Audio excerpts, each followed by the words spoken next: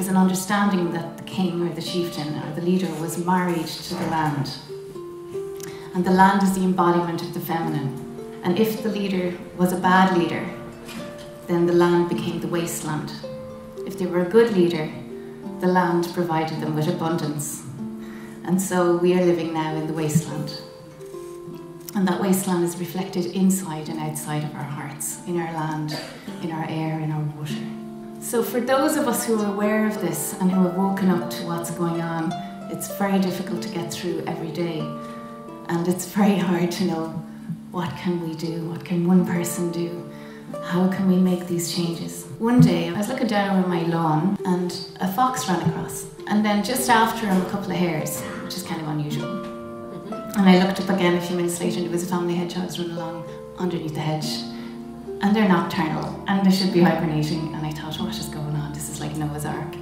So I went outside and I went to the opposite direction to which they were coming. There was noise.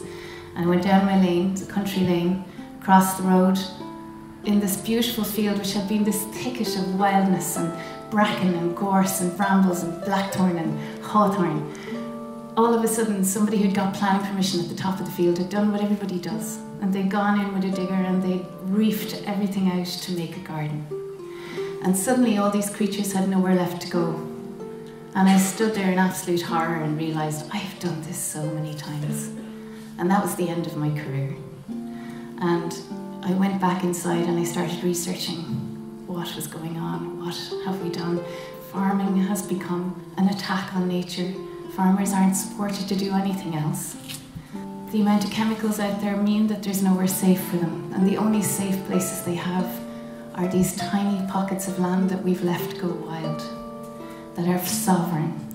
Bridget was a goddess of sovereignty. Over the years, all those goddesses have been mutated into a kind of a gentle, nice kind of an energy. That's because the monks were the only ones who started writing these stories down. As soon as those stories disappeared and they became only what we read on the pages, but those pages were morphed into something else and they didn't want this power to be there. The real truth of those goddesses is that they were wild, they were ambiguous, they were not gentle, they were, they were as mad as brush in the way that any good wild woman is.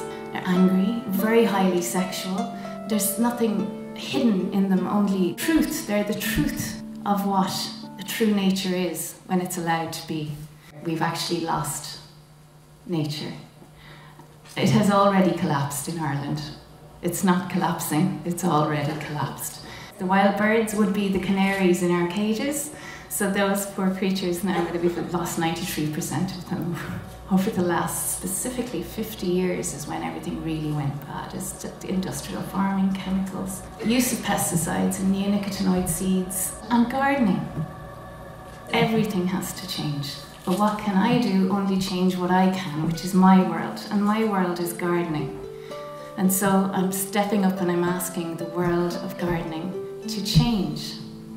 Because we can't plant things anymore we have to allow the gardens to become their true selves. I'm asking people to give as much of their land as they can back to nature, to let it be sovereign. Wait and you see what happens. It will absolutely empower you, it will change your world. I realised very quickly that people are going to find that very difficult because they're so caught in this space of tidiness, neatness, prettiness.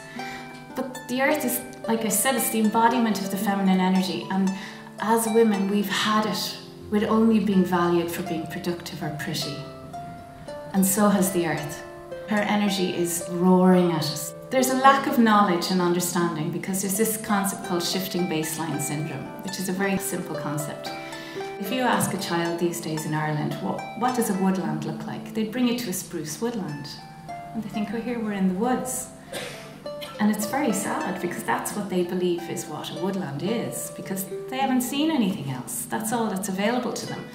There's only 0.001% of our ancient woodlands left in Ireland, and that's where all the diversity is. That's where all the hope is, is in those little places.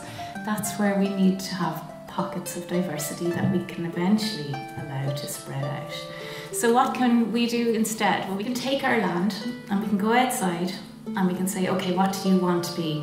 And I'm going to take out all these plants. I'm sorry, lads, I know you are alive, I know you're full of life, but you haven't developed within the context of the local food web, and you're of no benefit at all to any creatures living here. And so you have to go. So it's a huge thing to ask people to do. So instead, I'm asking people to give a little piece of their land and to put up a sign in their garden or in their window box or wherever it is and say, This is an ark. It captured people's imagination and it's become a global movement. And now there are arks all over the world. We've thousands and thousands and thousands and thousands of acres. The website is there to support people to do this. We have a map on the website, but people have written to me numerous times saying we're not putting our maps on the website. We don't want people to know where we are because they're terrified of food security. And I'm asking people to grow their own food within these arks. So they don't want anyone to know where they are, which is really sad.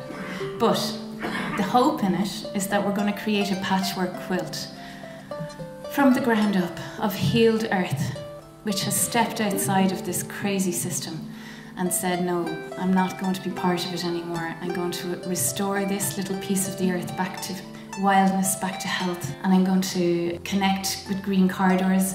So people are now putting up signs in, in their local councils saying this could be an ark on those stupid pieces of green covered earth, which is absolutely ridiculous. Why are we keeping everything neat?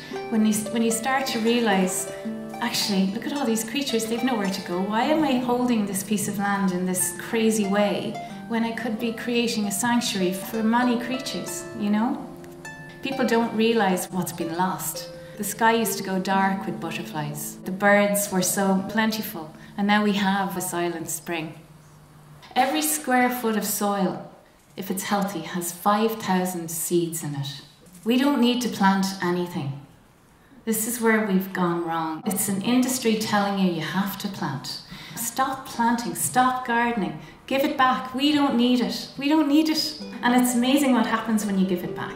And building an ark means stepping in and becoming the wolf, becoming, you know, the deer, becoming all the creatures that are missing in the system. So it's not just leaving it alone, it's actually helping and carrying out the ecosystem services that are missing because we've taken all them away. So we have to be part of the system now. It's our responsibility. We built a pond, for example, or we, we brought in some um, log hives. We put in piles and piles of dead wood to make dead hedges to create places for insects to live.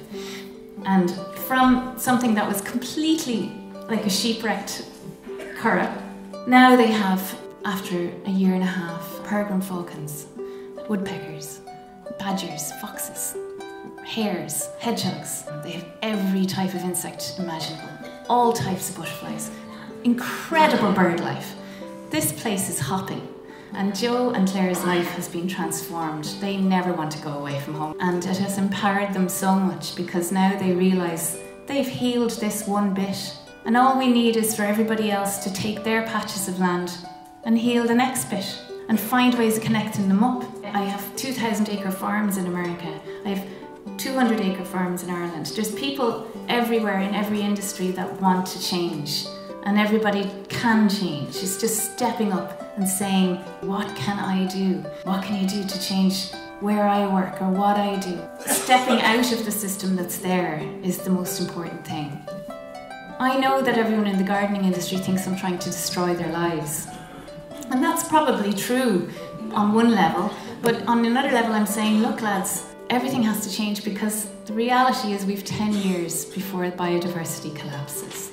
And when biodiversity collapses completely, we won't have humans. We've lost 82% of our insects now. They're gone because of pesticides and lack of habitat. They're not generalists, these insect species, or the bird species. They're specialists. The insects have created very strong relationships with native plants. And not just native plants, locally adapted native plants. They're all very specific.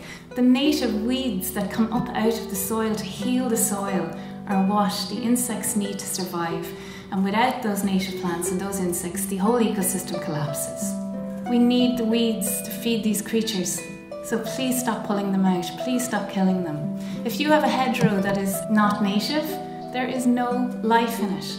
We have to stop looking at our land as something pretty for us to enjoy. You've got to understand this is not about us anymore, it's about them. We're in service to them Our role here is to be guardian, not gardener. And it's just once you start this process, it's incredible what happens so so quickly. You just become massively protective of all the families that have moved in with you. It empowers people to become warriors because there's not much else being offered to people as individuals to do. And every patch of this earth has to be restored to the true nature. We have a website where you can figure out how to do it. If you have any land, please give it back to nature.